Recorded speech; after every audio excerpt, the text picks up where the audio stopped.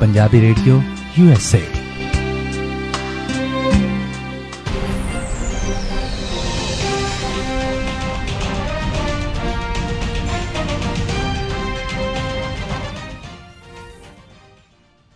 Punjabi radio U S A ਸੁਣ ਰਹੇ ਸਾਰੇ ਹੀ ਮਾਨਯੋਗ ਅਤੇ ਸਤਿਕਾਰਤ ਸਰੋਤਿਆਂ ਨੂੰ ਬਹੁਤ ਹੀ ਪਿਆਰ, ਸਤਿਕਾਰ ਸਹਿਤ ਦੋਨੋਂ ਅੱਜ ਜੁੜ ਕੇ ਨਿੱਗੀ ਜਹੀ ਸਤਿ ਸ੍ਰੀ ਅਕਾਲ ਸਭ ਨੂੰ। ਜੀ ਨੂੰ ਆਖਦੇ ਹਾਂ ਸਰੋਤਿਓ ਪ੍ਰੋਗਰਾਮ ਖਬਰ ਤੇ ਨਜ਼ਰ ਦੇ ਵਿੱਚ ਆਪ ਸਭ ਦਾ ਨਿੱਘਾ ਸਵਾਗਤ ਹੈ। ਮੇਰੇ ਨਾਲ ਪ੍ਰੋਗਰਾਮ ਖਬਰ ਤੇ ਨਜ਼ਰ ਦੇ ਵਿੱਚ ਜੁੜ ਚੁੱਕੇ ਨੇ ਮਿੰਟੂ ਗੁਰੂ ਸਰੀਆ ਜੀ ਮਲੋਟ ਸਟੂਡੀਓਜ਼ ਤੋਂ। ਮਿੰਟੂ ਜੀ ਨਿੱਗੀ ਜੀ ਆਇਆਂ ਨੂੰ ਪਿਆਰ ਭਰੀ ਸਤਿ ਸ੍ਰੀ ਅਕਾਲ ਜੀ।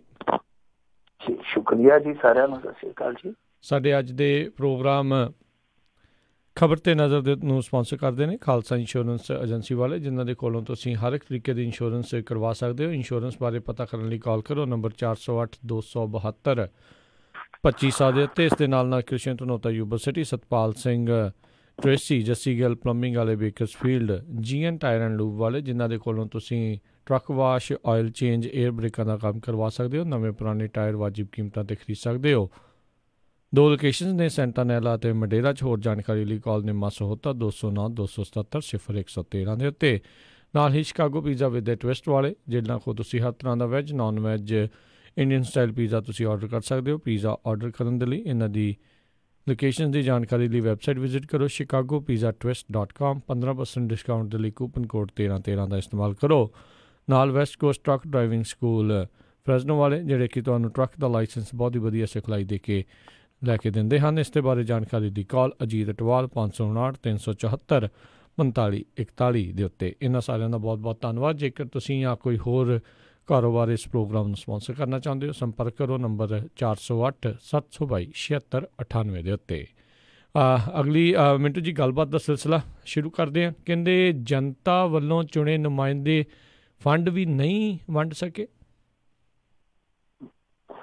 ਫੰਡ ਵੰਡ ਤਾਂ ਨਹੀਂ ਸਕੇ ਪਰ ਫੰਡਾਂ ਦਾ ਫੰਡਾ ਇਹਨਾਂ ਦਾ ਪੂਰਾ ਜਿਹੜਾ ਉਹ ਚੱਲ ਜਾਂਦਾ ਕਈ ਵਾਰ। ਇਹਨਾਂ ਨੂੰ ਕਹਿ ਦਿੱਤਾ ਜਾਵੇ ਕਿ ਫੰਡਾਂ ਨੂੰ ਫੰਡਾ ਕਰ ਦਿਓ ਨਾਲ ਦੀ ਨਾਲ ਹੀ ਕਰ ਦੇ। ਹੂੰ। ਪਰ ਫੰਡ ਹੈ ਜਿਹੜੇ ਵੰਡ ਨਹੀਂ ਸਕਦੇ। ਸੋ ਆ ਕੇਂਦਰ ਸਰਕਾਰ ਦੇ ਜਿਹੜੇ ਸੰਸਦ ਮੈਂਬਰ ਆ, ਉਹਨਾਂ ਦਾ ਇਹ ਤੁਸੀਂ ਵੇਖ ਲਓ ਕਿ ਕਿਸ ਤਰ੍ਹਾਂ ਦਾ ਕੰਮ ਕਰ ਰਿਹਾ। ਇੱਕ ਅੰਕੜਾ ਦਿੱਤਾ, ਕੇਂਦਰੀ ਅੰਕੜਾ, ਕੋਈ ਕਿਸੇ ਦਾ ਕੋਈ ਗੈਰ ਸਰਕਾਰੀ ਅੰਕੜਾ ਨਹੀਂ, ਉਹਦੇ ਚ 2014 ਤੋਂ ਲੈ ਕੇ ਹੁਣ ਤੱਕ 543 ਸੰਸਦ ਮੈਂਬਰਾਂ ਚੋਂ ਸਿਰਫ 35 ਲੋਕ ਸਭਾ ਹਲਕਿਆਂ ਦੇ ਐਮਪੀਆਂ ਨੇ ਹੀ ਆਪਣਾ ਜਿਹੜਾ ਫੰਡ ਆ ਉਹ ਇਸਤੇਮਾਲ ਕਰਕੇ ਪ੍ਰੋਜੈਕਟ ਪੂਰੇ ਕੀਤੇ ਆ। ਜੀ। ਸੋ ਦੇਸ਼ ਦੇ 543 ਸੰਸਦ ਮੈਂਬਰਾਂ ਦੇ ਵਿੱਚੋਂ 35 ਅਜਿਹੇ ਆ ਜਿਨ੍ਹਾਂ ਨੇ 25 ਕਰੋੜ ਦੀ ਰਕਮ ਜਿਹੜੀ ਆ ਪੂਰੀ ਦੀ ਪੂਰੀ ਖਰਚੀ ਆ ਇਸਤੇਮਾਲ ਕੀਤੀ ਆ ਪ੍ਰੋਜੈਕਟ ਮੇਪਰ ਚੜਾਏ ਆ।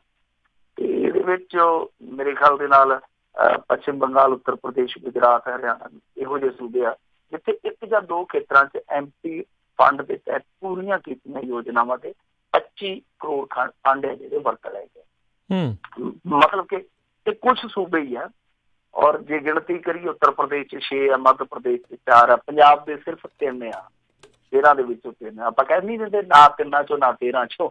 ਬਾਕੀ ਤਿੰਨ ਛੱਡ ਦਈਏ ਨਾ ਤਿੰਨਾਂ 'ਚੋਂ ਨਾ 13 'ਚੋਂ। ਗੁਜਰਾਤ ਹਰਿਆਣਾ ਦੇ ਦੋ ਦੋ ਆ। ਸੋ ਇਹ ਹਾਲ ਆ। ਇਹ ਇੱਥੋਂ ਦੇ ਚੁਣੇ ਨੁਮਾਇੰਦਿਆਂ ਦਾ ਤਨਖਾਹ ਪੁੱਛ ਲਓ ਕਿ ਵਧਾਈਏ। ਕਹਿਣ ਕਿ ਵਧਾ ਦਿਓ ਵਧਾ ਦਿਓ। ਨਾਲ ਦੀ ਨਾਲ ਹੀ ਕਹਿ ਦੇਣਗੇ ਵਧਾ ਦਿਓ। ਵਧਾ ਕੋਈ ਰੌਲਾ ਨਹੀਂ, ਕੋਈ ਰੱਪਾ ਪਰ ਫੰਡਾਂ ਵੀ ਨਹੀਂ। ਜੇ ਫੰਡ ਹੀ ਨਹੀਂ ਇਸਤੇਮਾਲ ਕਰ ਸਕਦੇ, ਹੋਰ ਇਹਨਾਂ ਨੂੰ ਕੀ ਕਰਵਾ ਸਕਦੇ ਇਹਨਾਂ ਤੋਂ? ਬੀਨਾ ਫੜਾ ਕੇ ਇਹਨਾਂ ਨੂੰ ਸੱਪ ਫੜਨ ਲਾ ਦਿਓ, ਫਿਰ ਹੋਰ ਤੇ ਕੋਈ ਕੰਮ ਹੀ ਨਹੀਂ ਰਹਿ ਜਾਂਦਾ। ਮਤਲਬ ਇੱਕ ਮੈਂਬਰ ਪਾਰਲੀਮੈਂਟ ਠੀਕ ਹੈ, ਉਹਨੇ ਸਦਨ ਦੇ ਵਿੱਚ ਸਵਾਲ ਚੁੱਕਣੇ, ਆਪਣੀਆਂ ਸਮੱਸਿਆਵਾਂ ਚੁੱਕਣੀਆਂ, ਆਪਣੇ ਸੂਬੇ ਨੂੰ ਰਿਪਰੈਜ਼ੈਂਟ ਕਰਨਾ। ਪਰ ਆ ਕੀ ਮਾਹੌਲ ਆ ਕਿ ਤੁਸੀਂ ਆਪਣਾ ਫੰਡ ਵੀ ਇਸਤੇਮਾਲ ਨਹੀਂ ਕਰ ਸਕਦੇ? ਕਮਾਲ ਦੀ ਗੱਲ ਆ ਮੇਰੇ ਖਿਆਲ ਦੇ ਨਾਲ ਇਹ ਬਦਤਰੀਨ ਸਥਿਤੀ ਇਸ ਮੁਲਕ ਦੀ ਨਹੀਂ ਹੋ ਸਕਦੀ ਕਿ ਮੈਂਬਰ ਪਾਰਲੀਮੈਂਟ ਆਪਣੀ ਜ਼ਿੰਮੇਵਾਰੀ ਨਾ ਨਿਭਾਉਣ ਦੇ ਬਾਵਜੂਦ ਨਾ ਸਿਰਫ ਟਰਮ ਪੂਰੀ ਕਰਦੇ ਆ ਬਲਕਿ ਰੱਜ ਕੇ ਅਯਾਸ਼ੀ ਰੱਜ ਕੇ ਐਸ਼ੋ ਆਰਾਮ ਕਰਕੇ ਚਲੇ ਜਾਂਦੇ ਆ। ਕੋਈ ਉਹਨਾਂ ਨੂੰ ਪੁੱਛਣ ਵਾਲਾ ਨਹੀਂ ਸਾਰੀ ਉਮਰ ਦੀ ਪੈਨਸ਼ਨ ਵੀ ਨਾਲ ਬਣ ਜਾਂਦੀ। ਹੂੰ ਬਿਲਕੁਲ ਸਹੀ ਗੱਲ ਆ। ਤੇ ਅਗਲੀ ਆਪਾਂ ਮਿੰਟੂ ਜੀ ਗੱਲ ਕਰਦੇ ਹਾਂ। ਕਹਿੰਦੇ ਅਕਸ਼ੇ ਕੁਮਾਰ ਵੀ ਆਖਰ ਟਰੋਲ ਦਾ ਸ਼ਿਕਾਰ ਹੋਇਆ?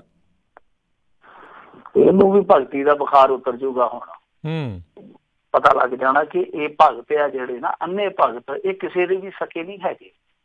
ਇਹ ਉਹ ਸੱਪ ਆ ਜਿਹੜੇ ਆਪਣੇ ਬੱਚੇ ਵੀ ਖਾ ਲੈਂਦੇ ਆਪਣੇ ਸੋ ਅਕਸ਼ੇ ਕੁਮਾਰ ਦਾ ਕਸੂਰ ਕੀ ਆ?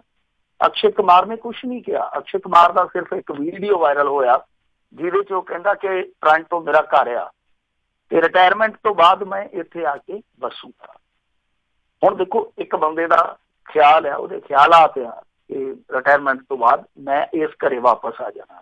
ਜਦ ਉਹਦੇ ਕੋਲ ਮੇਰੇ ਖਿਆਲ ਦੇ ਨਾਲ ਕੈਨੇਡਾ ਦੀ ਪੀ ਆ ਰਿਹਾ ਜੇ ਮੈਂ ਗਲਤ ਨਹੀਂ ਤਾਂ ਉਹਨੇ ਸਿਰਫ ਇਹੋ ਹੀ ਗੱਲ ਕਹੀ ਕਿ ਆ ਮੇਰਾ ਘਰ ਆ ਟੋਰਾਂਟੋ ਮੇਰਾ ਘਰ ਆ। ਇੱਕ ਵਾਰ ਜਦੋਂ ਮੈਂ ਬਾਲੀਵੁੱਡ ਇੰਡਸਟਰੀ ਤੋਂ ਰਿਟਾਇਰ ਹੋ ਜਾਵਾਂਗਾ ਫਿਰ ਮੈਂ ਇੱਥੇ ਵਾਪਸ ਪਰਤ ਆਉਂਗਾ ਉਹਨੇ ਆਹੀ ਗੱਲ ਕਹੀ ਉਸ ਤੋਂ ਬਾਅਦ ਜਿਹੜੇ ਫਿਰ ਕੱਟੜ ਭਾਰਤਵਾਦੀ ਆ ਜਾਂ ਰਾਸ਼ਟਰਵਾਦੀ ਆ ਉਹ ਲੱਗ ਮਗਰ ਗਏ। ਉਹ ਅਲੀ ਅਲੀ ਕਰਕੇ ਪੈ ਗਏ ਇਹਨੂੰ। ਜਿਵੇਂ ਉਹ ਕਮੈਂਟ ਕਰਦੇ ਆ ਜਿਸ ਤਰੀਕੇ ਦੀਆਂ ਫਿਰ ਉਹ ਅੱਗੇ ਟਿੱਪਣੀਆਂ ਕਰਦੇ ਹੋ ਤੇ ਪੜੀਆਂ ਵੀ ਨਹੀਂ ਜਾ ਸਕਦੀਆਂ। ਔਰ ਕਮਾਲ ਦੀ ਗੱਲ ਹੈ ਕਿ ਉਹ ਜਿਹੇ ਲੋਕਾਂ ਨੂੰ ਪ੍ਰਧਾਨ ਮੰਤਰੀ ਵੀ ਕਈ ਵਾਰ ਫੋਲੋ ਕਰਦੇ ਫੜੇ ਗਏ ਆ। ਹੋਰ ਵੀ ਇਹਨਾਂ ਦੇ ਤਗੜੇ ਤਗੜੇ ਮੰਤਰੀ ਆ ਜਿਹੜੇ, ਉਹ ਇਸ ਤਰ੍ਹਾਂ ਦੀ ਲੋਚ ਮੰਡਲੀ ਨੂੰ ਫੋਲੋ ਕਰਦੇ ਆ। ਤੋ ਉਹਨਾਂ ਨੇ ਰੱਜ ਕੇ ਟ੍ਰੋਲ ਕੀਤਾ, ਫਿਰ ਅਕਸ਼ੇ ਕੁਮਾਰ ਨੂੰ ਥੋੜੇ ਦਿਨ ਪਹਿਲਾਂ ਨਸਰੁੱਦੀਨ ਸ਼ਾਹ ਦੇ ਨਾਲ ਇਹ ਕੁਝ ਵਾਪਰਿਆ ਸੀਗਾ।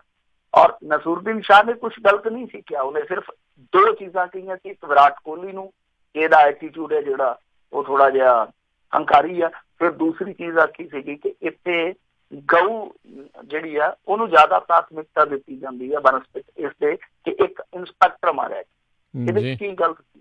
ਫਿਰ ਤੀਜੀ ਇੱਕ ਚੀਜ਼ ਉਹਨੇ ਕਹੀ ਸੀਗੀ ਕਿ ਮੇਰੇ ਬੱਚੇ ਇੱਥੋਂ ਦੇ ਮਾਹੌਲ ਤੋਂ ਕਈ ਵਾਰ ਖੌਫਜ਼ਦਾ ਹੋਣ ਤਾਂ ਇਹਦੇ ਵਿੱਚ ਗਲਤ ਕੀ ਆ? ਮਾਹੌਲ ਤੇ ਤੁਸੀਂ ਆਪ ਹੀ ਉਹੋ ਜਿਹਾ ਸਿਰਜਦੇ। ਤਾਂ ਨਸਰੁੱਦੀਨ ਸ਼ਾਹ ਦੇ ਨਾਲ ਖੜਨ ਵਾਲੇ ਬੰਦਿਆਂ ਦੀ ਗਿਣਤੀ ਚੰਦ ਸੀ।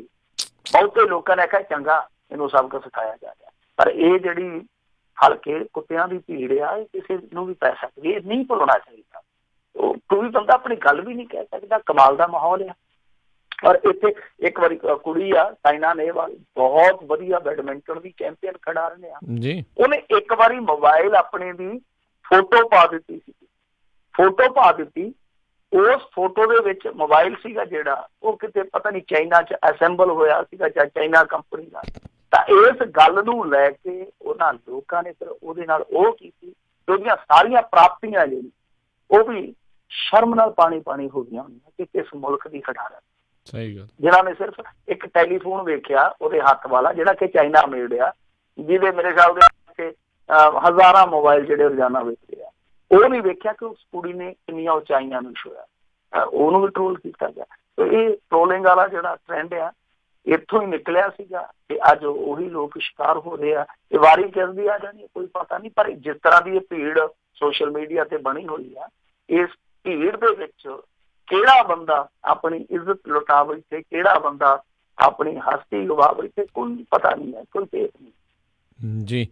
ਤੇ ਮਿੰਟੂ ਜੀ, ਕੋਈ ਅਸਾਰ ਤੁਹਾਨੂੰ ਨਜ਼ਰ ਆਉਂਦੇ ਨੇ ਵੀ ਅਜਿਹੀ ਸਥਿਤੀ ਉਸ ਮੁਲਕ ਦੇ ਵਿੱਚ ਹੁਣ ਚੇਂਜ ਹੋ ਸਕਦੀ ਆ? ਵੀ ਲੋਕ ਆਪਣੀ ਮਰਜ਼ੀ ਦੇ ਨਾਲ ਆਪਣੀ ਮਨ ਦੀ ਗੱਲ ਪ੍ਰਧਾਨ ਮੰਤਰੀ ਤੋਂ ਇਲਾਵਾ ਹੋਰ ਵੀ ਕੋਈ ਕਹਿ ਸਕਦਾ? ਦੇਖੋ, ਮਾਹੌਲ ਤੇ ਫਿਰ ਹੁਣ ਲੋਕ ਹੀ ਬਣਾਉਣਗੇ, ਕਿਉਂਕਿ ਲੋਕਾਂ ਦੇ ਪੈਰੋਂ ਵਿਗੜੇ ਆ, ਲੋਕਾਂ ਨੇ ਇਹੋ ਜਿਹੇ ਬੰਦੇ ਚੁਣੇ, ਜਿਨ੍ਹਾਂ ਨੇ ਆਪਣੀਆਂ ਇਸ ਤਰ੍ਹਾਂ ਦੀਆਂ ਸੋਸ਼ਲ ਮੀਡੀਆ ਦੀਆਂ ਫੌਜਾਂ ਨਿਸ਼ਚਿਤ ਕਰ ਦਿੱਤੀਆਂ ਕਿ ਤੁਸੀਂ ਇਹਨਾਂ ਬੰਦਿਆਂ ਨੂੰ ਜਵਾਬ ਦੇਣਾ। ਹੁਣ ਤੁਸੀਂ ਇੱਕ ਚੀਜ਼ ਵੇਖੋ ਨਾ ਕੀ ਕਰਦੇ ਪਏ ਆ। ਉਲਟਾ ਇਹਨਾਂ ਨੇ ਨਿਗਰਾਨੀ ਵਾਲਾ ਕਾਨੂੰਨ ਲੈ ਆਂਦਾ। ਨਿਗਰਾਨੀ ਵਾਲਾ ਕਿ 10 ਏਜੰਸੀਆਂ ਜਿਹੜੀਆਂ ਉਹ ਤੁਹਾਡੇ ਕੰਪਿਊਟਰ ਤੱਕ ਨਿਗਰਾਨੀ ਰੱਖ ਸਕਦੀਆਂ। ਪਰ ਨਾ ਕੀ ਦਿੱਤਾ ਜਾ ਰਿਹਾ, ਕਿ ਉਹ ਜੀ ਕੌਮੀ ਸੁਰੱਖਿਆ ਦਾ ਮਾਮਲਾ ਹੈ। ਹੁਣ ਤੁਸੀਂ ਮੈਨੂੰ ਇਹ ਗੱਲ ਦੱਸੋ ਕਿ ਕੌਮੀ ਸੁਰੱਖਿਆ ਦੇ ਨਾਂ ਤੇ ਇਸ ਤਰ੍ਹਾਂ ਮੰਨ ਲਓ ਜਿਹੜਾ ਕੋਈ ਆਲੋਚਕ ਆ, ਕੋਈ ਪੱਤਰਕਾਰ ਹੈ ਜਾਂ ਇਹਨਾਂ ਦਾ ਕੋਈ ਸਿਆਸੀ ਵਿਰੋਧੀ ਆ, ਉਹਦੇ ਡਾਟੇ ਦੀ ਮਿਸਯੂਜ਼ਿੰਗ ਨਾ ਹੋਊਗੀ ਕਿਉਂਕਿ ਇਹਨਾਂ ਏਜੰਸੀਆਂ ਦਾ ਤੇ ਇਤਬਾਰ ਕੀ ਕਰ ਲੂਗਾ ਕੋਈ? ਇਹ ਤੇ ਆਪਸ ਦੇ ਵਿੱਚ ਲੜ ਕੇ, ਆਪਸ ਦੇ ਵਿੱਚ ਰਿਸ਼ਵਤਖੋਰੀ ਦੇ ਇਲਜ਼ਾਮ ਲਾ ਕੇ ਸੁਪਰੀਮ ਕੋਰਟ ਤੱਕ ਤੁਰੀਆਂ ਫਿਰਦੀਆਂ ਨੇ। ਸੋ ਇਹ ਮਾਹੌਲ ਜਿਹੜਾ, ਉਹ ਲੋਕਾਂ ਦੇ ਪੈਰੋਂ ਸਿੱਟਿਆ ਗਿਆ। ਲੋਕਾਂ ਨੇ ਇਹੋ ਜਿਹੇ ਲੋਕ ਚੁਣੇ, ਜਿਨ੍ਹਾਂ ਨੇ ਹੋਰ ਚੀਜ਼ਾਂ ਨੂੰ ਵਧਾਵਾ ਦਿੱਤਾ, ਨਾ ਕਿ ਵਿਕਾਸ ਨੂੰ। ਤਾਂ ਇਹ ਲੋਕ ਹੀ ਆ, ਜੇ ਇਹਨਾਂ ਲੋਕਾਂ ਨੂੰ ਸਬਕ ਸਿਖਾਉਣਗੇ ਤੇ ਦੂਸਰੇ ਜੇ ਆਉਣਗੇ ਉਹਨਾਂ ਦੇ ਉੱਤੇ ਕੁੰਡਾ ਹੋਊਗਾ। ਨਹੀਂ ਤਾਂ ਫਿਰ ਪੰਜਾਬੀ ਚੋਂ ਕਹਿੰਦੇ ਹੁੰਦੇ ਆ ਕਿ ਸਿਰ ਤੇ ਨਹੀਂ ਕੁੰਡਾ, ਤੇ ਹਾਥੀ ਫਿਰਦਾ ਲੁੰਡਾ। ਹੂੰ, ਜੀ ਜੀ ਜੀ। ਅਗਲੀ ਜਿਹੜੀ ਆਪਾਂ ਗੱਲ ਕਰਦੇ ਆ, ਪੰਚਾਇਤੀ ਚੋਣਾਂ ਦਾ ਜਿਹੜਾ ਮਾਹੌਲ ਚੱਲ ਰਿਹਾ, ਕਹਿੰਦੇ ਪੂਰੀ ਮਾਰੋ ਮਾਰ ਓਪੀ ਸੋਨੀ ਨੇ ਕਿਹਾ ਵੀ 2-4 ਫੀਸਦੀ ਧੱਕਾ ਤਾਂ ਚੱਲਦਾ ਹੈ ਸਰਕਾਰ ਅਦਾਲਤ ਪਹੁੰਚੀ ਆ। ਦੇਖੋ ਇਹਨਾਂ ਦੇ ਜਿਹੜੇ ਵਿਧਾਇਕ ਆ ਮੰਤਰੀ ਆ ਬਿਲਕੁਲ ਬੇਸ਼ਰਮ ਹੋ ਚੁੱਕੇ ਆ। ਰਾਜਾ ਵੜਿੰਗ ਤੇ ਕਮਾਲ ਦਾ ਉਹ ਆਗੂ ਹੈ ਇਹਨਾਂ ਦਾ। ਉਹਦੀ ਅਜੇ ਇੱਕ ਹੋਰ ਵੀਡੀਓ ਵਾਇਰਲ ਹੋ ਗਈ ਉਹਦੇ ਵਿੱਚ ਉਹ ਸਿੱਧਾ ਹੀ ਮੰਨਦਾ ਪਿਆ ਕਿ ਸਰਕਾਰਾਂ ਜਿਹੜੀਆਂ ਉਹ ਕੀ ਨਹੀਂ ਕਰ ਸਕਦੀਆਂ ਕਾਗਜ਼ ਕੂਗਜ਼ ਤੇ ਇਧਰ ਉਧਰ ਕਰਾਉਣੇ ਆ ਜਿਹੜੇ ਉਹ ਝੱਟ ਦਾ ਕੰਮ ਹੈ ਬਿੰਦ ਦਾ ਕੰਮ ਹੈ ਹੂੰ। ਉਹ ਆਪ ਬੰਨੀ ਜਾਣਾ। ਇਸ ਤੋਂ ਪਹਿਲਾਂ ਸਾਧੂ ਸਿੰਘ ਧਰਮਸੋਤ ਦੀ ਇੱਕ ਵੀਡੀਓ ਵਾਇਰਲ ਹੋ ਗਈ ਔਰ ਸਿਆਣਾ ਵੀ ਵੇਖੋ ਕਿੱਡਾ ਕੋ ਲਾਈਵ ਹੋ ਗਿਆ। ਆ ਮੇਰਾ ਸਰਪੰਚ ਆ ਜੀ ਫਲਾਣਾ ਇਹਨੂੰ ਜਿਤਾਉਣਾ ਇਹ ਆ ਚਾਉਣਾ ਮੁੜ ਕੇ ਵੀਡੀਓ ਬੰਦ ਨਹੀਂ ਕੀਤੀ ਲਾਈਵ ਔਰ ਵਿੱਚੇ ਹੀ ਗਾਲ ਕੱਢ ਕੇ ਕਹਿੰਦਾ ਹੁਣ ਤੂੰ ਪੈਸੇ ਵੀ ਪੈਸੇ ਥੱਲੇ ਵੀ ਲਾ ਦੀ ਮਾੜੇ ਮੋਟੇ। ਹੂੰ ਦੇਖੋ ਕਿੰਨੀ ਸ਼ਰਮਨਾਕ ਗੱਲ ਹੈ ਇੱਕ ਮੰਤਰੀ ਇੱਕ ਸਰਪੰਚ ਦੇ ਹੱਕ ਦੇ ਵਿੱਚ ਨਾ ਸਿਰਫ ਸਿੱਧਾ ਪ੍ਰਚਾਰ ਕਰ ਰਿਹਾ ਜਦ ਕਿ ਹੋਣਾ ਹੀ ਨਹੀਂ ਚਾਹੀਦਾ ਪਿੰਡ ਦਾ ਮਾਮਲਾ ਪਿੰਡ ਵਾਲੇ ਆਪੇ ਆਪਣਾ ਨੁਮਾਇੰਦਾ ਚੁਣ ਬਲਕਿ ਇਹ ਵੀ ਕਿਹਾ ਜਾ ਰਿਹਾ ਕਿ ਪੈਸਾ ਲਾ ਦੇ ਕਿਸੇ ਨੇ ਪੁੱਛਿਆ ਹੀ ਇਸ ਨੇ ਦੱਸਿਆ ਨਹੀਂ। ਆ ਇੱਕ ਹੋਰ ਮੰਤਰੀ ਦੀ ਆਡੀਓ ਵਾਇਰਲ ਹੋਈ ਪਈ ਆ ਜਿਹਦੇ ਵਿੱਚ ਇੱਕ ਜਨਾਨੀ ਇੱਕ ਬੀਬੀ ਆ ਜਿਹੜੀ ਉਹ ਕਹਿਣ ਰਹੀ ਆ ਕਿ ਸਾਡੇ ਜਿਹੜੇ ਵਿਰੋਧੀ ਤੁਸੀਂ ਸਿਰ ਤੇ ਬਿਠਾ ਦਿੱਤੇ ਆ ਉਹ ਸ਼ਰਿਆਮ ਪਿੰਡ ਚ ਕੱਢਿਆ ਆ ਕਿ ਅੱਗੇ 30 ਲੱਖ ਲੱਗਣਾ ਸੀ ਇਲੈਕਸ਼ਨ ਤੇ ਹੁਣ 10 ਲੱਖ ਮੰਤਰੀ ਨੂੰ ਦੇ ਕੇ ਸਕਿਆ ਕਿੰਨਾ ਕੁਛ ਆ ਇੱਥੇ? ਹੁਣ ਓਪੀ ਸੋਨੀ ਨੇ ਸਿੱਧਾ ਕਹਿਤਾ ਪਰ ਮੇਰੇ ਖਿਆਲ ਦੇ ਨਾਲ ਉਹਨੇ ਗਲਤ ਕੁਛ ਨਹੀਂ ਕਿਹਾ। ਉਹ ਕਹਿੰਦਾ ਕਿ ਇੰਨਾ ਕੋਈ ਧੱਕਾ ਤੇ ਵੇਖੋ 2-4 ਫੀਸ ਦੀ ਧੱਕਾ ਜਨਤਾ ਚੱਲ ਲੈਂਦੀ ਆ। ਜੇ ਬਹੁਤਾ ਕਰਾਂਗੇ ਫਿਰ ਜਨਤਾ ਜਿਹੜੀ ਆ ਨਾ ਉਹ ਸਬਕ ਸਿਖਾ ਦਿੰਦੀ ਹੈ ਟੈਕਸੀ ਮੈਨੂੰ ਲੱਗਦਾ 2-4 ਹੀ ਹੋਇਆ ਯਾਨੀ 24 ਫੀਸਦੀ ਹੋ ਗਿਆ। ਉਹਨੇ ਜਿਹੜਾ ਕਿਹਾ ਹੁਣ ਜਨਤਾ ਕਦੋਂ ਸਬਕ ਸਿਖਾਉਂਦੀ ਉਹ ਇੰਤਜ਼ਾਰ ਕਰਨਾ ਪਊਗਾ। ਮੰਨਦੇ ਤੇ ਹੈ ਮੰਨਦੇ ਤੇ ਦੇਖੋ ਇਹਨਾਂ ਦੇ ਵਿਧਾਇਕ ਆਪ ਹੀ ਦੋਸ਼ ਲਾਈ ਜਾਂਦੇ ਇੱਕ ਦੂਜੇ ਤੇ। ਸੋ ਇਹ ਬਹੁਤ ਐਤਕੀ ਕਾਂਗਰਸ ਦੀ ਘਟੀਆ ਗੁਜ਼ਾਰੀ ਲੋਕੀ ਕਹਿੰਦੇ ਕਿ ਸ਼ਾਇਦ ਕਾਰਗੁਜ਼ਾਰੀ ਸੁਧਰ ਜੂਗੀ। ਪਰ ਇਹਨਾਂ ਲੋਕਾਂ ਨੇ ਤੇ ਆ ਕੇ ਬਸ ਜਿੱਦਾਂ ਕਹਿੰਦੇ ਤੇ ਅਹ, ਉਹ ਛਿੜੀ ਗਏ ਆ। ਉਹ ਵੈਸੇ ਪੰਜਾਬੀ ਚ ਮੁਹਾਵਰਾ ਅਖਾਉ ਆ ਕਿ ਥੋੜੇ ਦਾ ਤਾਂ ਸਰ ਜਾਂਦਾ, ਥਿੜੇ ਦਾ ਨਹੀਂ ਸਰਦਾ। ਇਹਨਾਂ ਨੇ ਤੇ ਕਿ ਥਿੜਿਆਂ ਵਾਲਾ ਕੰਮ ਕੀਤਾ। ਜਿਸ ਤਰੀਕੇ ਨਾਲ ਇਹਨਾਂ ਨੇ ਪੰਚਾਇਤੀ ਚੋਣ ਦੇ ਵਿੱਚ ਦਖਲ ਦਿੱਤਾ ਔਰ ਦੂਸਰੇ ਪੱਖੋਂ ਦਖਲ ਦਿੱਤਾ। ਨਾ ਸਿਰਫ ਡਾਂਗ ਸੋਟੇ ਵਾਲਾ ਪੱਖੋਂ, ਬਲਕਿ ਰਿਸ਼ਵਤਖੋਰੀ ਵੀ ਖੁੱਲ ਕੇ ਚੱਲਣ ਦੀ ਦੋਸ਼ ਲੱਗਦੇ ਆ। ਇਹ ਤੇ ਬਹੁਤ ਮਾਹੌਲ ਖਰਾਬ ਹੋਇਆ। ਖੈਰ, ਅਹ, ਜਿਹੜੀ ਅਦਾਲਤ ਦੇ ਵਿੱਚ ਚਾਰਾਜੋਈ ਚੱਲਦੀ ਪਈ ਆ, ਉਹਦੇ ਵਿੱਚ ਅੱਜ ਦੀ ਤਰੀਕ ਦੇ ਵਿੱਚ ਜਿਹੜੀ ਚੀਜ਼ ਵਾਪਰੀ ਆ, ਉਹ ਇਹ ਆ ਕਿ ਸਰਕਾਰ ਵੀ ਜਾ ਕੇ ਉੱਥੇ ਧਿਰ ਬਣ ਗਈ ਆ ਸਰਕਾਰ ਨੇ ਵੀ ਜਾ ਕੇ ਇੱਕ ਪਟੀਸ਼ਨ ਦਾਖਲ ਕਰ ਦਿੱਤੀ ਆ। ਕਿਉਂਕਿ ਉਸ ਤੋਂ ਪਹਿਲਾਂ ਹਾਈ ਕੋਰਟ ਦੇ ਵਿੱਚ ਇੱਕ ਫੈਸਲਾ ਆਇਆ ਸੀਗਾ ਕਿ ਜਿਨ੍ਹਾਂ ਦੀਆਂ ਨਾਮਜ਼ਦਗੀਆਂ ਰੱਦ ਹੋਈਆਂ ਨੇ, ਉਹ ਦੁਬਾਰਾ ਆਪਣਾ ਪੱਖ ਰੱਖ ਸਕਦੇ ਆ। ਚੀਜ਼ਾਂ ਕੁਝ ਅਸਪਸ਼ਟ ਸਨ। ਪਹਿਲਾਂ ਤੇ ਇਹ ਨਹੀਂ ਸੀ ਪਤਾ ਲੱਗਦਾ ਕਿ ਇਹ ਸਿਰਫ ਜਿਹੜੇ ਪਟੀਸ਼ਨ ਕਰਤਾ, ਉਹਨਾਂ ਲਈ ਫੈਸਲਾ ਹੈ ਜਾਂ ਸਾਰਿਆਂ ਲਈ ਹੈ। ਬਾਅਦ ਦੇ ਵਿੱਚ ਆ ਗਿਆ ਕਿ ਸਾਰਿਆਂ ਲਈ ਫੈਸਲਾ ਪਰ ਕਈਆਂ ਥਾਵਾਂ ਤੇ ਭੰਬਲ ਭੂਸਾ ਇਹ ਬਣ ਗਿਆ ਕਿ ਜਿਹੜੇ ਬੰਦਿਆਂ ਨੇ ਨਾਮਜ਼ਦਗੀ ਨਹੀਂ ਸੀ ਭਰੀ, ਮਤਲਬ ਰਹਿ ਗਏ ਉਹ ਵੀ ਕੋਸ਼ਿਸ਼ ਕਰਨ ਲੱਗ ਪਏ ਜਾ ਕੇ। ਤਾਂ ਜਦ ਕਿ ਇਹ ਫੈਸਲਾ ਸੀਗਾ ਕਿ ਜਿਨ੍ਹਾਂ ਦੀਆਂ ਸਿਰਫ ਨਾਮਜ਼ਦਗੀਆਂ ਰੱਦ ਹੋਈਆਂ ਔਰ ਜਿਹੜੇ ਰਹਿ ਗਏ ਸੀ ਵਿਚਾਰੇ ਦੁਬਾਰਾ ਭਰਨ ਗਏ, ਉਹਨਾਂ ਦੇ ਨਾਲ ਉਹੀ ਖੱਜਲ ਖੁਆਰੀ, ਫਿਰੋਜ਼ਪੁਰ ਦੇ ਵਿੱਚੋਂ ਵੀ ਇਸੇ ਤਰ੍ਹਾਂ ਦੀਆਂ ਰਿਪੋਰਟਾਂ, ਹੋਰ ਜ਼ਿਲ੍ਹਿਆਂ ਦੇ ਵਿੱਚੋਂ ਵੀ ਇਸੇ ਤਰ੍ਹਾਂ ਦੀਆਂ ਰਿਪੋਰਟਾਂ। ਇਹ ਅਕਸਰ ਇਹੀ ਜ਼ੋਰ ਲਾਉਂਦੇ ਰਹੇ ਕਿ ਕਿਸੇ ਨਾ ਕਿਸੇ ਤਰੀਕੇ ਦੇ ਨਾਲ ਇਹ ਕਾਗਜ਼ ਆ ਜਿਹੜੇ ਭਰਨੋਂ ਫਿਰ ਰਹਿ ਜਾਣ। ਸਰਕਾਰ ਨੇ ਜਾ ਕੇ ਉੱਤੇ ਹੁਣ ਪਟੀਸ਼ਨ ਪਾਈ ਆ, ਸਰਕਾਰ ਕਹਿੰਦੀ ਆ ਕਿ ਆਪਣਾ ਫੈਸਲਾ ਤੁਸੀਂ ਬਦਲੋ, ਕਿਉਂਕਿ ਇਸ ਤਰ੍ਹਾਂ ਤੇ ਲੋਕ ਤੁਰੇ ਆਉਣਗੇ। ਤੇ ਤੁਸੀਂ ਪਟੀਸ਼ਨਾਂ ਵਿਚਾਰੀ ਜਾਓ ਇਲੈਕਸ਼ਨ ਹੋ ਗਏ ਸਮਝੋ। ਤਾਂ ਹੁਣ ਇਹਦੇ ਤੇ ਸੁਣਵਾਈ ਹੋਣੀ ਆ ਸਵੇਰੇ, ਇਮਕਾਨ ਇਹੋ ਜਿਹਾ ਵੀ ਬਣ ਗਿਆ ਕਿ ਕਿਤੇ ਇਹ ਇਲੈਕਸ਼ਨ ਟਲ ਨਾ ਜਾਵੇ। ਕਿਉਂਕਿ ਜੇ ਮੰਨ ਲਓ ਕੱਲ ਨੂੰ ਸੁਣਵਾਈ ਹੁੰਦੀ ਆ, ਕੋਈ ਪਾਰਟੀ ਆਪਣਾ ਪੱਖ ਇਹ ਕੱਲ ਦੇ ਦਿਹਾੜੇ 'ਚ ਨਹੀਂ ਰੱਖ ਸਕਦੀ, ਫੈਸਲਾ ਅਗਲੇ ਦਿਨ ਆਉਂਦਾ ਇਹ ਮੰਨਣ ਦੀ ਗੱਲ ਆ ਸਪੋਜ਼ ਕਰਨ ਦੀ ਗੱਲ ਆ ਤੇ ਜੇ ਮੰਨ ਲਓ ਇੱਕ ਦਿਨ ਹੋਰ ਪੈਂਦਾ ਤੇ ਫੇਰ ਬੈਲਟ ਪੇਪਰ ਛਾਪਣੇ ਜਾਂ ਜੋ ਵੀ ਪ੍ਰਕਿਰਿਆ ਉਹ ਨੇਪਰੇ ਚਾੜਨ ਵਾਸਤੇ ਬਹੁਤ ਘੱਟ ਸਮਾਂ ਬਚੂਗਾ। ਤਾਂ ਸੰਭਾਵਨਾ ਇਹ ਵੀ ਹੈ।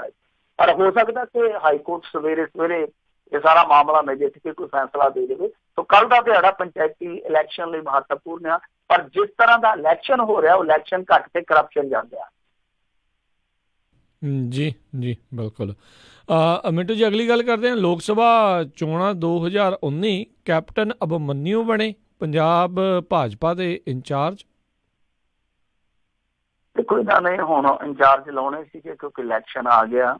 ਪਰ ਇਹ ਇੰਚਾਰਜ ਆ ਕੇ ਤੇ ਕੀ ਇੰਚਾਰਜ ਹੀ ਵਿਖਾਉਣਗੇ ਸਭ ਤੋਂ ਵੱਡੀ ਗੱਲ ਇਹੋ ਹੀ ਆ।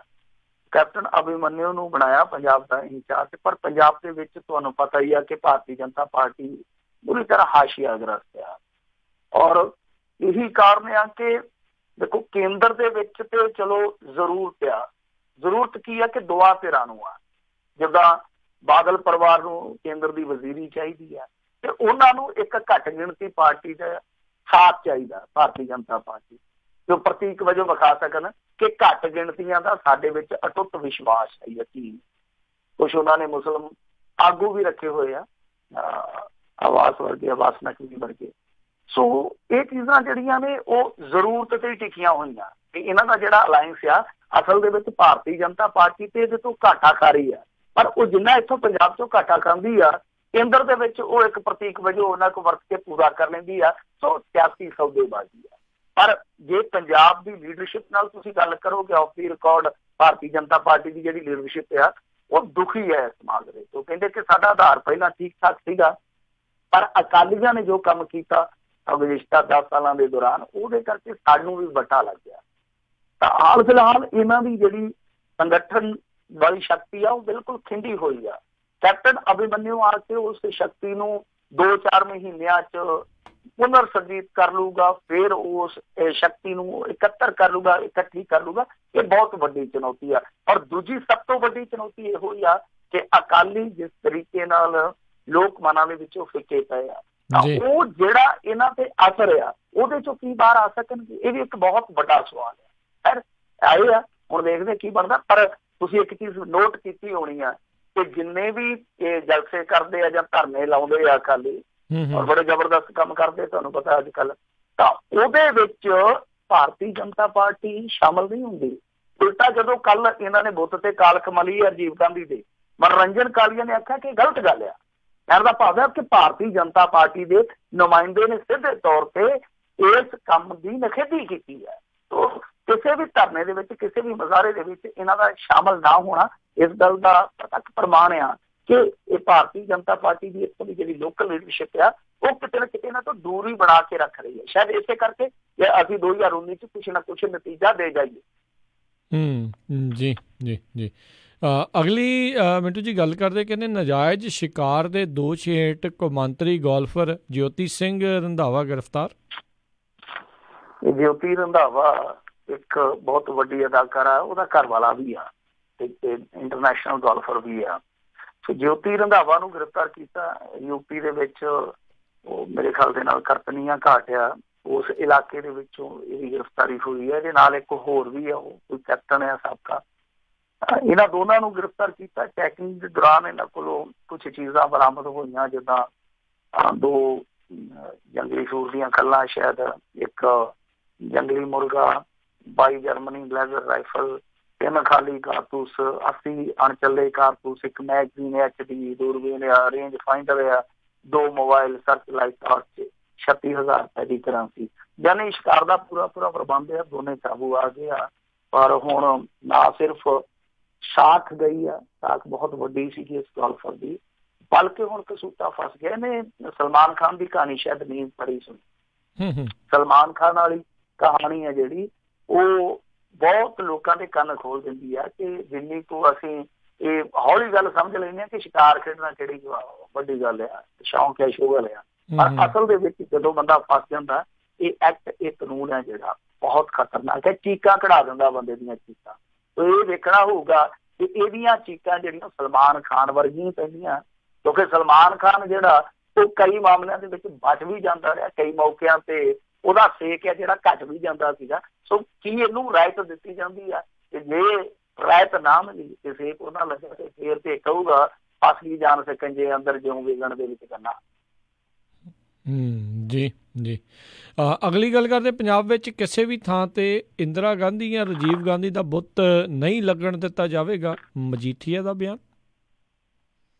ਦੇਖੋ ਰਾਜਨੀਤੀ ਹੁਣ ਜਿਹੜੀ ਆ ਪੰਜਾਬ ਦੀ ਖਾਸ ਤੌਰ ਤੇ ਰਾਜਨੀਤੀ ਹੈ ਜਿਹੜੀ ਉਹ ਤਕਰੀਬਨ ਤਕਰੀਬਨ ਬੁੱਤ ਦੇ ਦਿਵਾਲੇ ਘੁੰਮਣ ਲੱਗ ਪਈ ਆ। ਸਹੀ ਗੱਲ।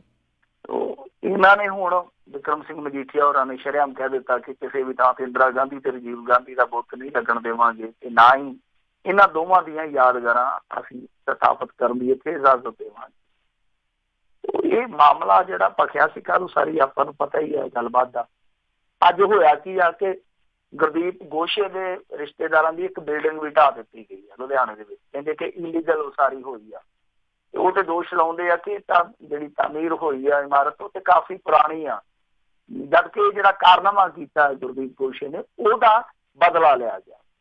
ਤਾਂ ਤੀਸਰੀ ਇੱਕ ਵੱਡੀ ਘਟਨਾ ਇਹ ਵਾਪਰੀ ਆ ਕਿ ਦਿੱਲੀ ਦੇ ਵਿੱਚ ਵੀ ਕੁਝ ਥਾਵਾਂ ਤੇ, ਜਿੱਦਾਂ ਰਜੀਵ ਚੌਂਕ ਉਹਦਾ ਜਿਹੜਾ ਸਾਈਨ ਬੋਰਡ ਸੀ, ਉੱਥੇ ਵੀ ਕਾਲਕ ਮਣੀ ਗਈ ਆ। ਹਾਲਾਂਕਿ ਦਾਵਾ ਕੀਤਾ ਗਿਆ ਕਿ ਉਹ ਜਿਹੜੇ ਕਤਲਾਮ ਪੀੜਤ ਸੀਗੇ ਉਹਨਾਂ ਨੇ ਉਹ ਸਾਰੀ ਕਾਲਖ ਉੱਤੇ ਮਲੀ ਆ ਪਰ ਇਹਦੀ ਪੁਸ਼ਟੀ ਨਹੀਂ ਕੋਈ ਕਰ ਸਕਿਆ ਹਾਲੇ। ਆਪਾਂ ਆਪਣੇ ਤੌਰ ਤੇ ਪੁਸ਼ਟੀ ਨਹੀਂ ਕਰ ਸਕਦੇ ਕਿ ਉਹ ਵਾਕਈ ਪੀੜਤ ਸੀਗੇ ਜਾਂ। ਫਿਰ ਅਕਾਲੀ ਦਲ ਦੇ ਕਾਰਕੁਨਾਂ ਨੂੰ ਪੀੜਤ ਆਖੀ ਜਾਂਦੇ ਇਹ ਚੀਜ਼ ਜਿਹੜੀ ਆ ਉਹ ਨਖੇੜਾ ਮੰਗਦੀ ਆ। ਖੈਰ ਵਿਕਰਮ ਸਿੰਘ ਮਜੀਠੀਆ ਹੋਰੀ ਕਹਿੰਦੇ ਆ ਕਿ ਅਸੀਂ ਬੁੱਤ ਨਹੀਂ ਲੱਗਣ ਦੇਵਾਂਗੇ ਨਾ ਲੱਗਣ ਦੇਵੋ। ਜਿਹੜੇ ਹੈਗੇ ਆ ਉਹਨਾਂ ਨੂੰ ਕਾਲਖ ਕਾ ਤੋਂ ਮੰਗਦੇ? ਫਿਰ ਪੱਟ ਦੇ ਲਿਆ ਕੇ ਕਰੇ ਨਾ। ਔਰ ਹੱਦ ਦੀ ਗੱਲ ਤੇ ਆ, ਮੈਂ ਉਦੋਂ ਵੀ ਗੱਲ ਕੀਤੀ ਸੀ ਕਿ ਸਰਕਾਰ ਇਹਨਾਂ ਦੀ ਆ ਕੇਂਦਰ ਦੇ ਵਿੱਚ ਨੋਟੀਫਿਕੇਸ਼ਨ ਜਾਰੀ ਕਰਕੇ ਸਾਰੀਆਂ ਸਕੀਮਾਂ 'ਚ ਉਹਨਾਂ ਦੇ ਨਾਮ ਪਾਸੇ ਕਰਾਉਣ। ਔਰ ਇੰਦਰਾ ਗਾਂਧੀ ਦੀ ਤਸਵੀਰ ਜੀਵ ਗਾਂਧੀ ਦੀ ਤਸਵੀਰ ਜਿੰਨੇ ਵੀ ਸਰਕਾਰੀ ਦਫ਼ਤਰਾਂ 'ਚ ਲੱਗੀ ਆ, ਜਾਂ ਤੇ ਫਿਰ ਉੱਥੋਂ ਵੀ ਢਾ ਕੇ ਵਿਖਾ ਦੇਣ। ਕੱਲੀ ਮੂਰਤੀ ਨਾਲ ਕੀ ਆ? ਸਾਡੇ ਪੰਜਾਬ ਦੇ ਵਿੱਚ ਉਹਨਾਂ ਦੀਆਂ ਤਸਵੀਰਾਂ ਵੀ ਲੱਗੀਆਂ, ਜਾਂ ਤੇ ਉਹ ਤਸਵੀਰਾਂ ਵੀ ਲਹਾ ਦੇਣ।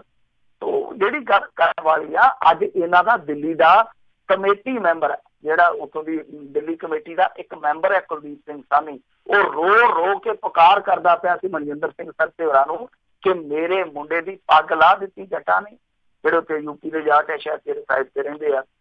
ਔਰ ਮੇਰੇ ਭਾਂਜੇ ਨਾਲ ਬੁਰੀ ਤਰ੍ਹਾਂ ਕੁੱਟਮਾਰ ਕੀਤੀ। ਮੇਰੇ ਨਾਲ ਕੋਈ ਨਹੀਂ ਖੜ ਰਿਹਾ। ਉਹਨੇ ਇੱਥੋਂ ਤੱਕ ਆਖਿਆ ਕਿ ਨਾ ਸਰਤਾ ਨਾ ਮਨਜੀਤ ਸਿੰਘ ਜੀ ਕਿ ਮੇਰੀ ਗੱਲ ਹੀ ਨਹੀਂ ਸੁਣਦੇ ਪਏ। ਔਰ ਮੈਂ ਤਿੰਨ ਵਾਰ ਦਾ ਚੁਣਿਆ ਹੋਇਆ ਕਮੇਟੀ ਮੈਂਬਰ ਆ ਜੇ ਮੇਰੇ ਨਾਲ ਇਸ ਤਰ੍ਹਾਂ ਹੋਣ ਲਈ ਆ ਤੇ ਜਿਹੜੀ ਆਮ ਸਿੱਖ ਸੰਗਤ ਆ ਦਿੱਲੀ ਦੀ, ਉਹਦੇ ਨਾਲ ਕੀ ਹੋਊਗਾ? ਸੋ ਗੱਲ ਤੇ ਇਹ ਹੈ ਕਿ ਤੁਸੀਂ ਆਪਣੇ ਬੰਦਿਆਂ ਦੇ ਨਾਲ ਖੜੋ, ਜਿਹੜੀ ਗੱਲ ਕਰਨ ਵਾਲੀ ਆ।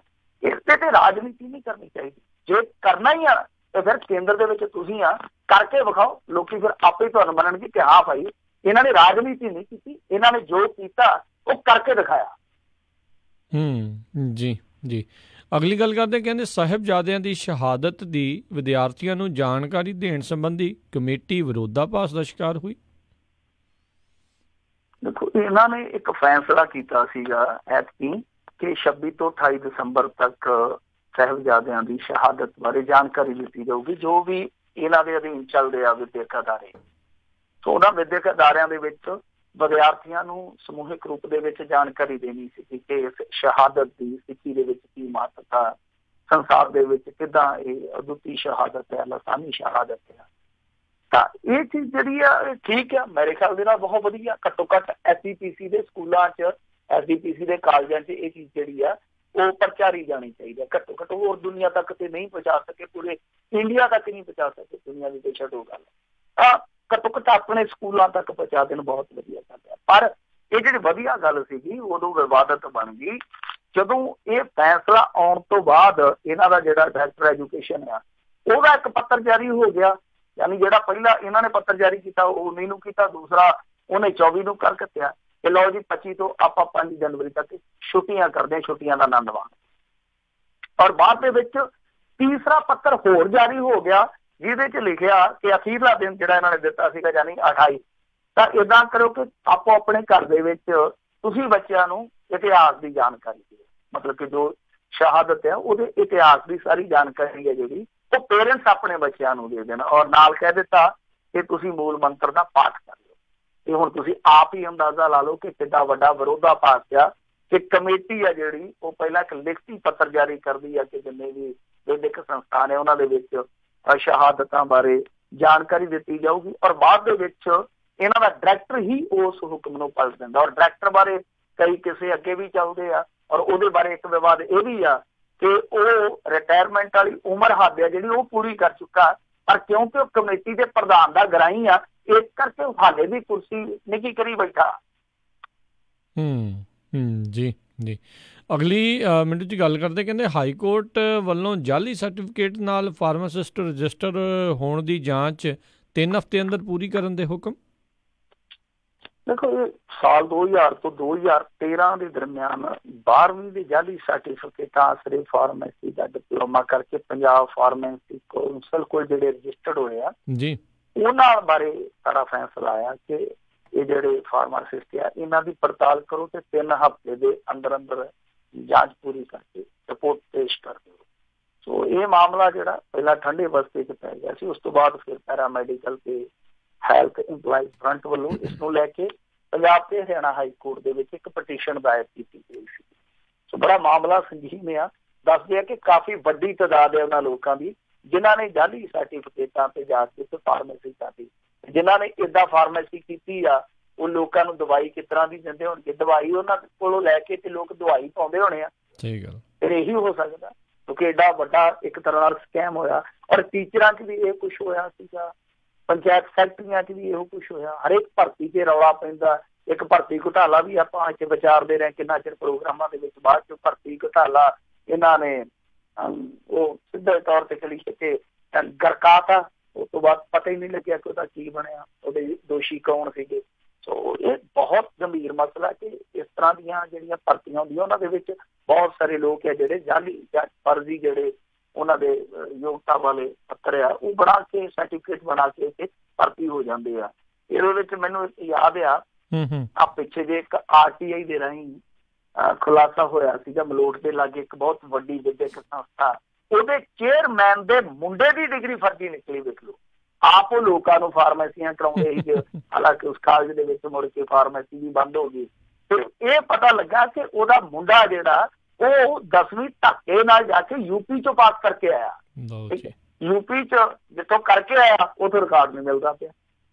ਸੋ ਇਹ ਕਮਾਲ ਦੀਆਂ ਗੱਲਾਂ ਹੋਣ ਡੀਆਂ ਪੰਜਾਬ ਦੇ ਵਿੱਚ। ਸੋ ਇਹ ਸਕੈਮ ਨੇ ਇਹ ਸਕੈਮ ਇਹ ਨਹੀਂ ਹੈ ਚਲੋ ਹਾਈ ਕੋਰਟ ਨੇ ਲੈ ਲਿਆ ਨੋਟਿਸ ਠੀਕ ਆ ਹਾਈ ਕੋਰਟ ਦੇ ਹੁਕਮਾਂ ਤੇ ਜਾਂਚ ਪੜਤਾਲ ਕਰ ਦਿੱਤੀ। ਇਹ ਨਹੀਂ ਹੈ ਕਿ ਸਕੈਮ ਪੂਰੇ ਉਧਰ ਜਾਣਗੇ। ਜਦੋਂ ਇਹ ਸਕੈਮ ਪੂਰੇ ਉਧਰਨਗੇ ਇਹਨਾਂ ਦੇ ਵਿੱਚੋਂ ਇਹੋ ਜਿਹੀਆਂ ਮੁਸ਼ਕਲਾਂ ਲੀਰਾਂ ਨਿਕਲਣਗੀਆਂ ਕਿ ਨੱਕ ਬੰਦ ਹੋ ਜਾਣਗੇ। ਅੱਖਾਂ ਬੰਦ ਹੋ ਜਾਣਗੀਆਂ। ਕਿਉਂਕਿ ਇਸ ਤਰ੍ਹਾਂ ਦੇ ਸਕੈਮ ਜਿਹੜੇ ਆ ਉਹ ਰਾਜਨੀਤੀ ਨਾਲ ਜੁੜੇ ਲੋਕ ਹੀ ਕਰਵਾਉਂਦੇ ਆ। ਇੱਕ ਨੈਕਸਸ ਹੁੰਦਾ ਜਿਹਦੀ ਅਗਵਾਈ ਜਾਂ ਕਹਿੰਦੇ ਮੁੱਖ ਧੁਰੀ ਹੈ ਜਿਹੜੀ ਉਹ ਰਾਜਨੀਤੀ ਰਾਜਨੀਤੀ ਹੋਈ ਹੁੰਦੀ ਹੈ ਹੂੰ ਜੀ ਜੀ ਜੀ। ਤੇ ਮਿੰਟੂ ਜੀ ਸੈਂਟਰ ਦਾ ਵੀ ਦੱਸਿਓ ਕੀ ਚੱਲ ਰਿਹਾ? ਇਹਨਾਂ ਦੇ ਗੱਠ ਜੋੜਾਂ ਦਾ ਮਹਾ ਗੱਠ ਜੋੜ ਕਿੱਧਰ ਨੂੰ ਵੱਧ ਰਿਹਾ ਤੇ ਬੀਜੇਪੀ ਦੇ ਜਿਹੜੇ ਸਾਥੀ ਪਾਰਟੀਆਂ ਉਹ ਛੱਡ ਰਹੀਆਂ ਨੇ ਜਾਂ ਜੇ ਨਾਲ ਹੀ ਤੁਰੀਆਂ ਨੇ? ਦੇਖੋ ਕੇਸੀਆਰ ਅੱਜ ਜਾ ਕੇ ਇੱਕ ਕੰਬਲ ਜਿਹਾ ਪਾਇਆ ਉਹਦੇ ਤੇ ਨਰਿੰਦਰ ਮੋਦੀ ਤੇ। ਉਹ ਪਤਾ ਨਹੀਂ ਕੀ ਕਰੂਗਾ। ਉਹ ਤੁਰਿਆ ਫਿਰਦਾ ਪਹਿਲਾਂ ਮਮਤਾ ਬੈਨਰਜੀ ਕੋਲ ਜਾ ਆਇਆ ਨਵੀਨ ਪਟਨਾਇਕ ਕੋਲ ਜਾ ਆਇਆ ਤੇ ਅੱਜ ਉਹਨੇ ਇੱਕ ਟੁੱਟੀ ਜੀ ਲੋਈ ਆ ਜਿਹੜੀ ਪ੍ਰਧਾਨ ਮੰਤਰੀ ਤੇ ਵੀ ਪਾ ਦਿੱਤੀ ਆ। ਉਹ ਹੁਣ ਪਾ ਕੇ ਅੱਗੇ ਕੀ ਬਣਾਊਗਾ? ਅਮਲ ਤੋਂ ਪਰੇ ਕੀ ਖਿਚੜੀ ਨਹੀਂ ਜਾਂਦੇ ਆ। ਪਰ ਇਧਰ ਅਖਿਲੇਸ਼ ਯਾਦਵ ਨੇ ਅੱਜ ਇੱਕ ਬਹੁਤ ਵੱਡਾ ਬਿਆਨ ਦਿੱਤਾ। ਮੱਧ ਪ੍ਰਦੇਸ਼ ਦੇ ਵਿੱਚ ਕਹਿੰਦਾ ਸਾਡਾ ਇੱਕੋ ਹੀ ਸਵਾ ਲੱਖ ਹੀ ਵਿਧਾਇਕ ਸੀਗਾ ਤੇ ਸਾਡੇ ਮੰਤਰੀ ਮੰਡਲ 'ਚ ਨਹੀਂ ਲਿਆ ਸਿੱਧੇ ਤੌਰ ਤੇ ਉਹਨੇ ਕਾਂਗਰਸ ਦੇ ਨਾਲ ਯੂਪੀ 'ਚ ਗੱਠਜੋੜ ਕਰਨ ਤੋਂ ਇਨਕਾਰ ਕਰ ਦਿੱਤਾ। ਬਹਰਹਾਲ ਇਹ ਬਹੁਤ ਵੱਡੀ ਖਬਰ ਆ। ਕਿ ਜਿੱਦਾਂ ਮੈਂ ਤੁਹਾਨੂੰ ਕਿਹਾ ਸੀਗਾ ਨਾਲ ਹੀ ਉਹਨੇ ਇੱਕ ਗੱਲ ਹੋਰ ਕਹਿਤੀ ਆ ਕਿ ਭਾਜਪਾ ਦੇ ਨਾਲ ਤਾਂ ਸਵਾਲ ਹੀ ਨਹੀਂ ਪੈਦਾ ਹੁੰਦਾ ਕਿ ਅਸੀਂ ਜਾਈਏ। ਮਤਲਬ ਕਿ ਸਾਡਾ ਤਾਂ ਇੱਕੋ ਇੱਕ ਟੀਚਾ ਕਿ ਭਾਜਪਾ ਨੂੰ ਇੱਥੋਂ ਚੱਲਦਿਆਂ ਕਰਨਾ ਤਾਂ ਫਿਰ ਉਹੀ ਗੱਲ ਆ ਜਾਂਦੀ ਆ ਕਿ ਇਹਨਾਂ ਦੀ ਅੱਖ ਇਹਨਾਂ ਦੀ ਨਜ਼ਰ ਹੈ ਜਿਹੜੀ ਉਹ ਉਸ ਗੁਣੇ ਤੇ ਆ ਜਿਹੜੀ ਕਈ ਵਾਰ ਤੀਜੇ ਧਿਰ ਦੇ ਬੰਦੇ ਤੇ ਪੈ ਜਾਂਦੇ। ਹੂੰ। ਇਹ ਹੁਣ ਵੇਖਣਾ ਹੋਊਗਾ ਕਿ ਇਹ ਜਿਹੜੇ ਗੱਠ ਜੋੜ ਆ ਇਹ ਕਿਸ ਤਰ੍ਹਾਂ ਕੇ ਗੱਠ ਜੋੜ ਦੀ ਗੱਠ ਲੋੜ ਹੀ ਹੁੰਦੀ ਹੈ ਤੇ ਲੋੜ ਦੀ ਗੱਠ ਹੁੰਦੀ ਹੈ ਜਦੋਂ ਹੁਣ ਇਹ ਪੈਊਗੀ ਗੱਠ ਕਿਹਦੇ ਕਿਹਦੇ ਨਾਲ ਕਿਹਦੀ ਪੈਂਦੀ ਹੈ ਵੇਖਾਂਗੇ। ਪਰ ਮਾਮਲੇ ਆ ਜਿਹੜੇ ਉਹ ਦਿਲਚਸਪ ਬਣਦੇ ਪਏ ਜਿੱਦਾਂ ਕੇਸੀਆਰ ਅੱਜ ਨਰਿੰਦਰ ਮੋਦੀ ਨੂੰ ਮਿਲਿਆ ਤੇ ਦੋਨਾਂ ਦੀ ਮੁਸਕਰਾਹਟ ਜਿਹੜੀ ਖਚਰੀ ਦੀ ਸੀਗੀ ਉਹ ਕਈ ਸੰਕੇਤ ਦਿੰਦੀ ਸੀ। ਤੋਂ ਲੱਗਦਾ ਕਿ ਹਾਲੇ ਜੋੜ ਤੋੜ ਜਿਹੜੇ ਆ ਉਹ ਬੜੀ ਸ਼ਿੱਦਤ ਨਾਲ ਹੋਣਗੇ। ਹੂੰ ਜੀ ਜੀ ਜੀ। ਬਹੁਤ ਬਹੁਤ ਤੁਹਾਡਾ ਧੰਨਵਾਦ ਕਰਦੇ ਹਾਂ ਮਿੰਟੂ ਜੀ। ਤੁਸੀਂ ਸਾਡੇ ਨਾਲ ਜੁੜੇ ਨੇ ਖਬਰਾਂ ਬਾਰੇ ਸਾਨੂੰ ਜਾਣਕਾਰੀ ਦਿੱਤੀਆਂ। ਅਗਲੀ ਵਾਰ ਤੱਕ ਲਈ ਬੜੀ ਮਿਹਰਬਾਨੀ। ਪਿਆਰ ਭਰੀ ਸਤਿ ਸ਼੍ਰੀ ਅਕਾਲ ਜੀ। ਸਤਿ ਸ਼੍ਰੀ ਅਕਾਲ ਜੀ। ਤੇ ਸੋ ਇੱਥੇ ਹੀ ਸਾਡਾ ਅੱਜ ਦਾ ਇਹ ਪ੍ਰੋਗਰਾਮ ਖਬਰ ਤੇ ਨਜ਼ਰ ਸਮਾਪਤ ਹੈ। ਮਿਲਾਂਗੇ ਤੁਹਾਨੂੰ ਸਾਰਿਆਂ ਨੂੰ ਅਗਲੀ ਵਾਰ। ਉਦੋਂ ਤੱਕ ਲਈ ਮੈਨੂੰ ਰਾਜਕਨਵੀਰ ਸਿੰਘ ਨੂੰ ਇਜਾਜ਼ਤ ਦਿਓ। ਮੇਰੇ ਵੱਲੋਂ ਵੀ ਪਿਆਰ ਭਰੀ ਨਿੱਗੀ ਸਤਿ ਸ਼੍ਰੀ ਅਕਾਲ ਜੀ। ਉਹਦੇ ਵਾਸਤੇ ਰਹੋ, ਹੱਸਦੇ, ਖੇਲਦੇ ਰਹੋ, ਸੁਣਦੇ ਰਹੋ। Punjabi radio, U S A.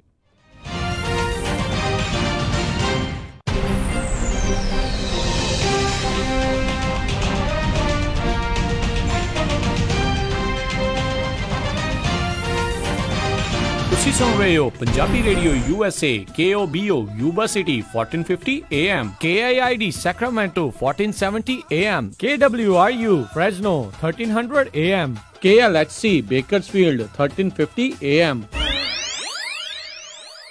Preet